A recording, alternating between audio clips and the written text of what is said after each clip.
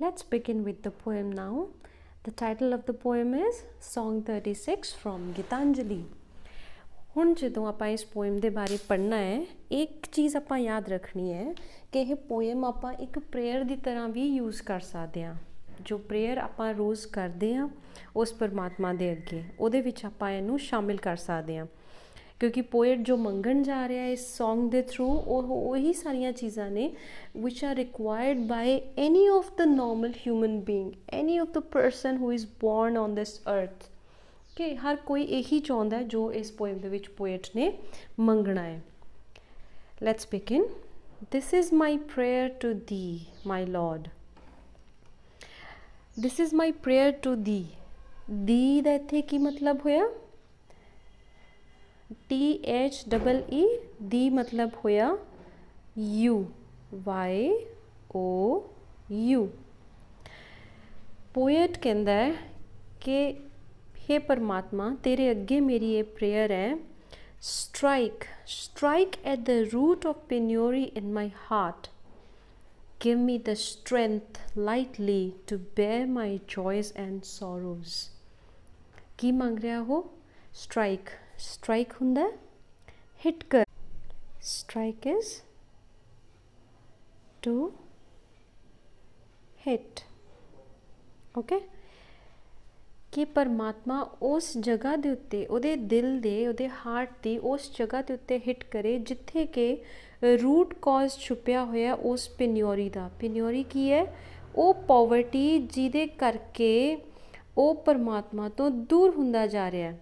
ਹੁਣ ਉਹ ਪਾਵਰਟੀ ਕੀ ਹੈ? ਉਹ ਪਾਵਰਟੀ ਹੈ ਉਸ ਪਰਮਾਤਮਾ ਤੋਂ ਡਿਸਟੈਂਸ ਕ੍ਰੀਏਟ ਹੋਣ ਦੀ।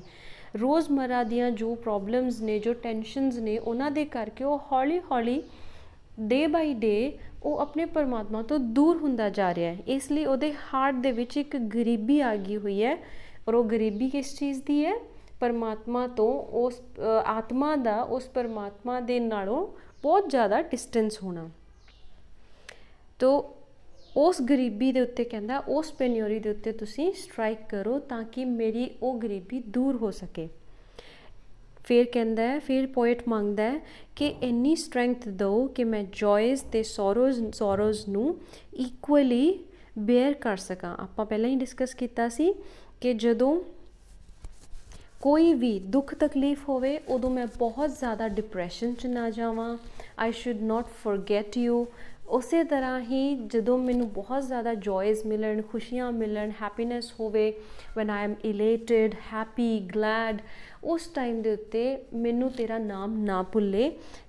That's why he he wants he prays to the almighty ਕਿ ਮੈਨੂੰ ਦੋਨੋਂ ਕੰਡੀਸ਼ਨਸ ਦੇ ਵਿੱਚ ਹੀ ਹਮੇਸ਼ਾ ਇੱਕ ਬੈਲੈਂਸਡ ਪਰਸਨ ਬਣਾਈ ਰੱਖੇ ਪਰਮਾਤਮਾ। Give me the strength to make my love fruitful in service. Give me the strength never to disown the poor or bend my knees before insolent might. Give me the strength to raise my mind high above daily trifles and give me the strength to surrender my strength to thy will with love. So it is a beautiful poem. Next stanza ਦੇਖੋ ਕਿੰਨਾ ਵਧੀਆ ਹੈ।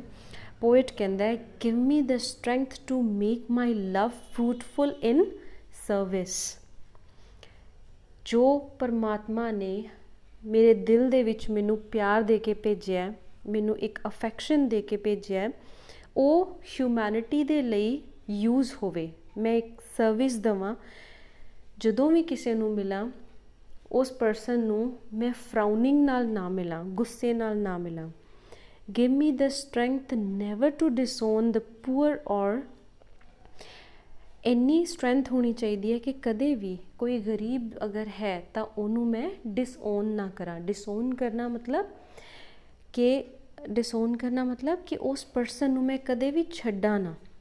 Never to leave ਆਪਾਂ ਲਿਖ ਸਕਦੇ ਹਾਂ never to leave ਕਿਉਂਕਿ ਉਸ ਪਰਸਨ ਗਰੀਬ ਹੈ, ਉਹ ਪਰਸਨ ਇਸ ਕਰਕੇ ਉਹਦੇ ਤੋਂ ਦੂਰ ਰਹਿਣਾ is not a wish of not a will of God ਪਰਮਾਤਮਾ ਸਾਰਿਆਂ ਲਈ ਇੱਕੋ ਜਿਹਾ ਹੀ ਹੈ।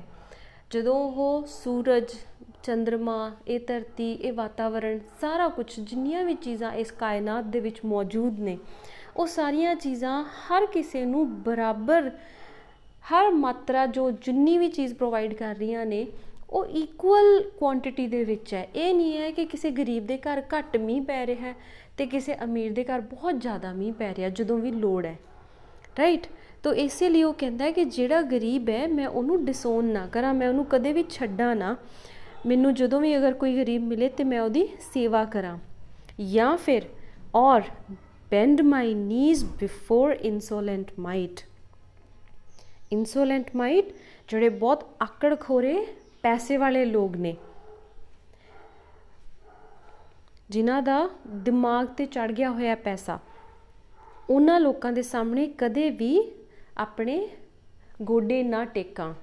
ਬੈਂਡ ਮਾਈ ਨੀਜ਼ ਮਤਲਬ ਆਪਣੇ ਗੋਡੇ ਟੇਕਣਾ ਮੀਨਸ ਕਿਸੇ ਬਹੁਤ ਤਗੜੀ ਪਾਵਰ ਦੇ ਅੱਗੇ ਝੁਕ ਜਾਣਾ। ਜਿਵੇਂ ਕਿ ਬਹੁਤ ਸਾਰੇ ਲੋਕ ਕਈ ਵਾਰੀ ਕਰ ਦਿੰਦੇ ਆ ਕਿ ਜਦੋਂ ਜ਼ਰੂਰਤ ਪੈਂਦੀ ਹੈ, ਜਦੋਂ ਜ਼ਿੰਦਗੀ ਦੇ ਵਿੱਚ ਕੋਈ ਮੁਸ਼ਕਿਲ ਆਉਂਦੀ ਹੈ, ਮੁਸੀਬਤ ਆਉਂਦੀ ਹੈ, ਉਸ ਟਾਈਮ ਦੇ ਉੱਤੇ ਪ੍ਰੇਫਰ ਕਰਦੇ ਆ ਕਿ ਠੀਕ ਹੈ, ਉਹ ਬੰਦਾ ਪਾਵਰਫੁਲ ਹੈ, ਉਹਦੇ ਸਾਹਮਣੇ ਝੁਕ ਜਾਓ, ਚੁੱਪ ਰਹਿ ਜਾਓ ਉਹਦੇ ਸਾਹਮਣੇ। And people start doing the things which the God does not like ਔਰ ਉਸੇ ਕਰਕੇ ਉਹ ਜਿਹੜੇ ਪਰਮਾਤਮਾ ਤੋਂ ਦੂਰ ਹੋ ਜਾਂਦੇ ਆ। Give me the strength to raise my mind high above the daily trifles ਕਹਿੰਦਾ ਕਿ ਮੈਨੂੰ ਇੰਨੀ ਸਟਰੈਂਥ ਦਿਓ ਕਿ ਮੇਰਾ ਮਾਈਂਡ ਜੋ ਹੈ, ਉਹ ਰੋਜ਼ ਦੇ ਜਿਹੜੇ ਛੋਟੇ-ਮੋਟੇ ਟ੍ਰਿਵੀਅਲ ਮੈਟਰਸ ਨੇ ਡੇਲੀ ਟ੍ਰਾਈਫਲਸ ਬੜੇ ਛੋਟੇ-ਮੋਟੇ ਕੰਮ ਹੈ ਟ੍ਰਿਵੀਅਲ ਮੈਟਰਸ ਜਿਹੜੇ ਹੁੰਦੇ ਆ। Trivial T R I V I A L trivial matters ਕਿ ਜਿਹੜੇ ਵੀ ਟ੍ਰਿਵੀਅਲ ਮੈਟਰਸ ਨੇ, ਉਹਨਾਂ ਤੋਂ ਮੈਂ ਦੂਰ ਹੀ ਰਵਾਂ, ਉਹਨਾਂ ਦੇ ਕਰਕੇ ਮੇਰਾ ਜੋ ਮਾਈਂਡ ਹੈ, ਹੁਣ ਮਾਈਂਡ ਇੱਥੇ ਕੀ ਹੈ? ਜੋ ਮੇਰੇ ਸੋਚਣ ਦੀ ਸ਼ਕਤੀ ਹੈ, ਜੋ ਮੇਰਾ ਥਾਟ ਪ੍ਰੋਸੈਸ ਹੈ, ਜਿੱਦਾਂ ਦੇ ਮੇਰੇ ਵਿਚਾਰ ਹੈ, ਉਹ ਵਿਚਾਰ ਕਦੇ ਵੀ ਡਿੱਗਣ ਨਾ। ਉਹ ਵਿਚਾਰ ਹਮੇਸ਼ਾ ਉੱਪਰ ਉੱਠਦੇ ਰਹਿਣ। ਹਾਇਰ ਪਾ ਸਾਈਡ ਵੱਲ ਜਾਣ, ਨਾ ਕਿ ਉਹ ਲੋਅਰ ਸਾਈਡ ਵੱਲ ਆਣ। ਕਿਉਂਕਿ ਜਿਹੜੇ ਸਾਡੇ ਡੇਲੀ ਦੇ ਛੋਟੇ-ਮੋਟੇ ਕੰਮ ਹੁੰਦੇ ਆ ਡੇਲੀ ਦੀਆਂ ਜਿਹੜੀਆਂ ਪ੍ਰੋਬਲਮਸ ਨੇ ਜਿਵੇਂ ਇੱਥੇ ਆਪਾਂ ਇੱਕ ਐਗਜ਼ਾਮਪਲ ਅਗਰ ਸਾਈਟ ਕਰੀਏ, ਮੰਨ ਲਓ ਆਪਾਂ ਕਾਲਜ ਆ ਰਹੇ ਹਾਂ। ਕਾਲਜ ਆਉਂਦੇ ਹੋਏ ਸਾਨੂੰ 2 ਮਿੰਟ ਆਪਾਂ ਲੇਟ ਆ ਔਰ ਸਿਗਨਲ ਹੋ ਗਿਆ ਜਾਂ ਮੰਨ ਲਓ ਰੇਲਵੇ ਫਾਟਕ ਲੱਗੇ ਹੋਏ ਆ। ਆਪਾਂ ਪ੍ਰੇਫਰ ਕਰਦੇ ਆ specially two wheelers two wheelers ਕਿਉਂ ਆਪਾਂ ਰეკਮੈਂਡ ਮੈਂਸ਼ਨ ਕਰੀਏ? ਕਿਉਂਕਿ ਜਿਹੜੇ ਵੀ ਵਹੀਕਲਸ ਉਹਦੇ ਥੱਲੇੋਂ ਫਾਟਕ ਦੇ ਥੱਲੇੋਂ ਲੰਘ ਸਕਦੇ ਆ ਨਾ ਇੱਧਰ ਉੱਧਰ ਦੇਖ ਕੇ ਕਿ ਟ੍ਰੇਨ ਕਿੰਨੀ ਦੇਰ ਚ ਆਣੀ ਹੈ, ਉਥੋਂ ਕੱਢਣ ਦੀ ਕਰਦੇ ਆ। ਜਦੋਂ ਰੈੱਡ ਸਿਗਨਲ ਹੋਇਆ ਹੁੰਦਾ ਉਦੋਂ ਉਹ ਲਾਈਟ ਜੰਪ ਕਰਨ ਦੀ ਕਰਦੇ ਆ because they think that they are getting late and by doing this they are not harming anyone but my dear ਇੱਥੇ ਬਹੁਤ ਧਿਆਨ ਨਾਲ ਇੱਕ ਚੀਜ਼ ਸੋਚਿਓ।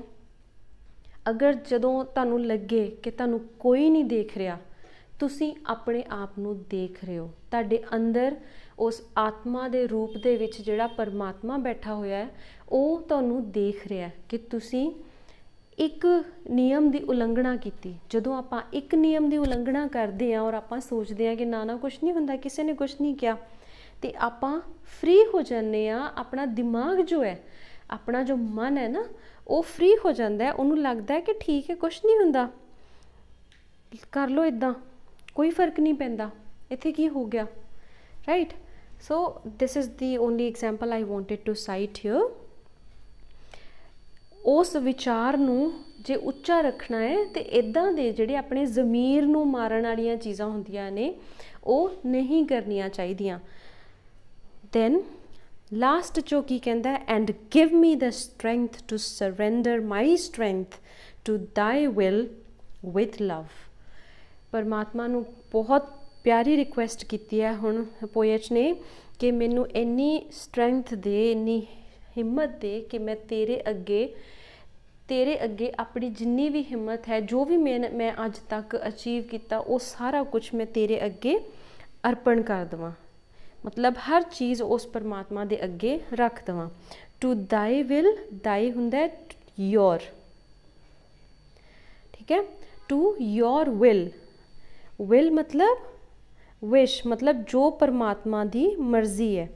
ਮੈਂ ਚਲੋ ਇੱਥੇ ਤੁਹਾਡੇ ਲਈ ਮਰਜ਼ੀ ਲਿਖ ਦਿੰਨੀ ਆ ਜੋ ਪਰਮਾਤਮਾ ਦੀ ਮਰਜ਼ੀ ਹੈ, ਉਸ ਤਰੀਕੇ ਦੇ ਨਾਲ ਮੈਂ ਆਪਣੇ ਆਪ ਨੂੰ ਆਪਣੀ ਹਰ ਚੀਜ਼ ਉਸ ਪਰਮਾਤਮਾ ਦੇ ਅੱਗੇ ਸਮਰਪਣ ਕਰ ਦਵਾਂ। ਮੈਨੂੰ ਇੰਨੀ ਸ਼ਕਤੀ ਦੇਵੇ।